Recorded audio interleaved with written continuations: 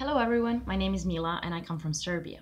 When it comes to populism, I believe there is no one sided story to it, as it is attached to many different sets of ideas and various national contexts. What concerns the most, however, is that it is often misused to spread ideologies such as the nationalism, then lead to radicalization and democratic backsliding, as well as to give legitimacy to hate speech and social exclusion.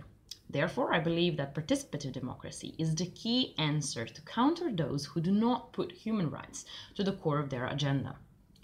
Therefore, we must criticize this exclusive populism and, more importantly, provide people space to exercise their rights. I'd like to learn whether populism can be a mechanism that challenges the status quo and puts equity before equality. Personally, I think that it should be all about horizontal interactions among equals who are different in their needs. Therefore, populism to me is a fluid term whose aspects must all be taken into account before labeling it necessarily good or bad. Thank you for your attention, and hopefully, I'll see you in Strasbourg.